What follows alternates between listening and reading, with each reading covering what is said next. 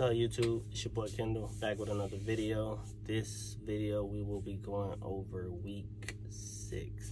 Six weeks I've been here at Schneider. Surprised I made it this far, but we here. Alright, we're gonna jump right into it. Um, load one, I came from the house. I was home because of my daughter's birthday. So dad headed up to Stillmore, Georgia. From Stillmore, Georgia, we went over to Findlay, Ohio. Um, the Stillmore, Georgia load was a live load. Took about an hour to load me. Wasn't too bad of a place, but the load was heavy. That load was about 41K, which I personally hate to do loads that heavy, but living in Florida, trying to get out the house, I had to make it happen. Um, I drove 755 miles to Ohio, and that load was a drop and hook. That load paid $1,612 to the truck. So not too bad of a load, but load two, I did headed to Mason, Masalone, Ohio, I think something like that. Don't murder me for that. Um, for a drop and hook load, that load was 5,000 pounds, so super light load. It was a uh, Frito-Lay chips, you know, they don't fill up them bags anyway, so you know that's why I was light.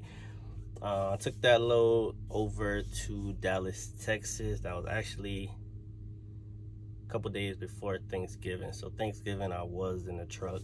There was a couple that came by. I think it was Thanksgiving night, and um, said they were dropping off meals for truck drivers. So that was nice of them. I appreciate the nice, the kind gesture.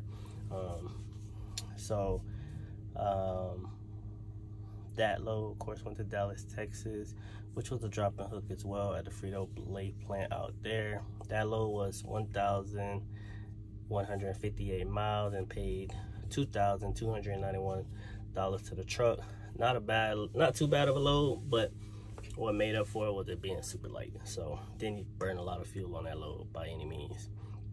Load three, I did headed over to Fort Worth, Texas, um, for a drop and hook load.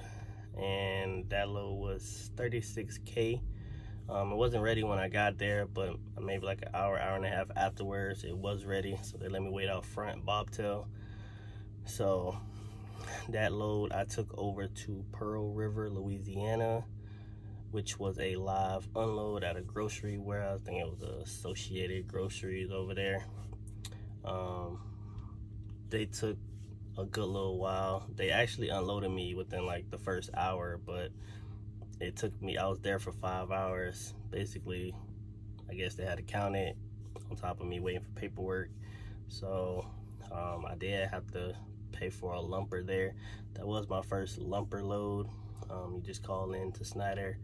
Um, they have a lumper number, which I didn't know at the time, but I know now. Call in to them. They give you the code to put into the app and it covers the lumper for you. Just make sure you get your receipt from that.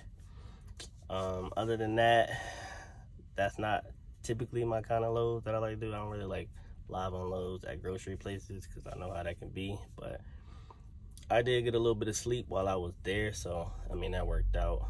Um, on top of that, when I got there, they gave me a door maybe like 15 minutes later. Um, go to back in the door, my lock that Schneider gave me an orientation, the little gold lock, seized up. So I wasn't even able to get that lock off. I had to get some bolt cutters, try to cut that off. took forever. I got like cut halfway through. I had to ask the guy next to me, a Landstar driver, shout out to him. Um, he helped me get it off. So that took me like an hour. So that's probably delayed the process as well. But we made it happen either way. Um, other than that, that load was 537 miles and that load paid $1,225 to the truck. So, wasn't too bad of a load, but I did get detention pay as well for being there for five hours, so not too bad. Um, after that load, I deadheaded over to Mississippi for a drop and hook load. That load was 26K, so not too heavy. That's kind of like right, right around where I like to be, between 20 30K I really like going over 30K. So that's where I try to typically stay. Um, I have been to this place a few times, so that's got to be like one of my favorite shippers. There, your loads always already days before your pickup. So shout out to them. Real good place to pick up from. Um, that load I took over to West Jefferson, Ohio for a drop and hook as well. Um, that load was 581 miles and it paid $1,429 to the truck. So, not too bad of a week. Everything, no loads canceled that week. Thank God. Um, everything actually worked out. Um, I was running on recaps that week. So, that was kind of, that was my first time running on recaps. So, it was kind of a tough week balancing everything, the drives, but nonetheless, I made it work. So, um, all loads came out to all loads plus 1600 of the revenue was $8,159. What I meant by that, 1600 of that was I got another payment of my $8,000 sign-on bonus, so that's included in the 8,000. Um, believe that's my second. Yeah, that's my second payment. So um, deductions was twenty six hundred and seven dollars. Um, of that twenty six hundred, nine hundred and forty one of that was from the previous week for my truck payment because week five, as I said in my last video, week five I didn't. I think I did one load, so it covered most of my truck payment, but it didn't cover everything. So the remaining balance from the previous week came out of that as well. So um, my take home was $5,559.59 after all expenses.